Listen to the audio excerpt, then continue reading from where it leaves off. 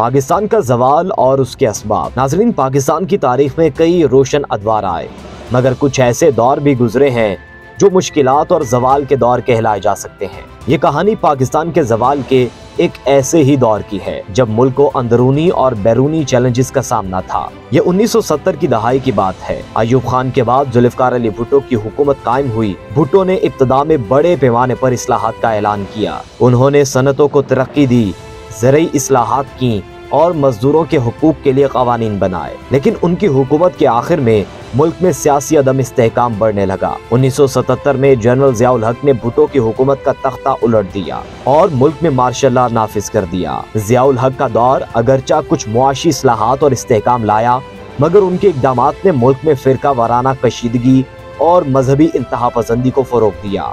उनके दौर में अफ़गानिस्तान की जंग के नतीजे में पाकिस्तान में महाजरीन की बड़ी तादाद आई और असलहा मनशियात की स्मगलिंग में इजाफा हुआ। जियाउल हक के बाद बेनजीर भुट्टो और नवाज़ शरीफ की हुकूमतों का दौर आया। दोनों हुकूमतें सियासी अदम इसकाम बदउनवानी और मुआशी बहरानों का शिकार रही। सियासी कशमकश और इकतदार की जंग ने मुल्क की तरक्की को बुरी तरह मुतासर किया। 1990 की दहाई में पाकिस्तान को मुआशी बदहाली का सामना करना पड़ा। गैर मुल्की कर्जे बढ़ने लगे और मुल्क मुआशी मुश्किल में घिर गया। तालीम और सेहत जैसे अहम शोबे नजरअंदाज हुए और बेरोजगारी और गुर्बत में इजाफा हुआ। 2000 की दहाई के आगाज़ में जनरल परवेज मुशरफ ने इकतदार संभाला।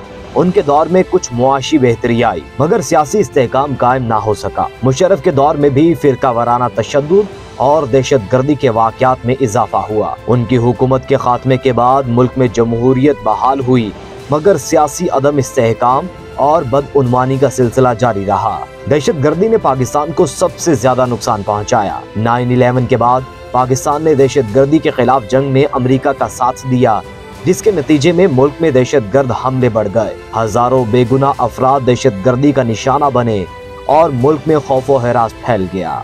पाकिस्तान के जवाल की वजूहत में सियासी अदम इसकाम बदनवानी फिरका वाराना तशद और दहशत गर्दी के अलावा मुआशी बदहाली भी शामिल है। मुल्की वसाइल का गलत इस्तेमाल तालीमी निज़ाम की खराबी और सेहत के शोबे की नाकामी ने भी मुल्क को पसमानदगी की तरफ़ धकेल दिया। नवाज़ शरीफ ने अपने दौरे हुकूमत में मुआशी तरक्की के लिए अहम इकदाम उठाए। उन्होंने इंफ्रास्ट्रक्चर के मंसूबे शुरू किए, जैसे मोटरवेज और बिजली के नए मंसूबे। मुल्क की मीशत में बेहतरी आई और बैरूनी सरमाकारी में इजाफा हुआ। लेकिन इमरान खान की सियासी तहरीक और एहतजाजी सियासत ने नवाज़ शरीफ की हुकूमत को गैर मुस्तहकम किया। धरनों और एहतजाजों ने हुकूमत को दबाव में रखा और मुआशी तरक्की की रफ्तार को सुस्त कर दिया।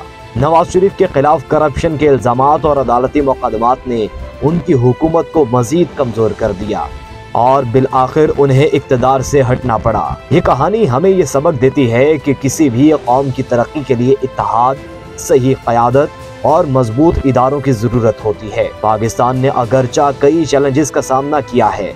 मगर उम्मीद है कि कौम अपनी गलतियों से सीखेगी और मुस्तबिल में तरक्की की राह पर गामजन होगी। पाकिस्तान के जवाल की ये कहानी हमें ये भी याद दिलाती है कि हम अपनी गलतियों से सीख कर ही आगे बढ़ सकते हैं।